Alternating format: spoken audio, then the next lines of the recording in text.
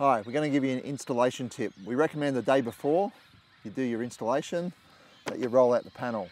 This is going to make it easy to handle because it's got wire in there, it's all coiled up.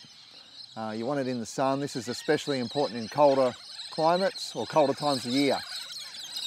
Now, we've got a weight here on top of the product and simply we're going to roll the panel out like so. Very easy.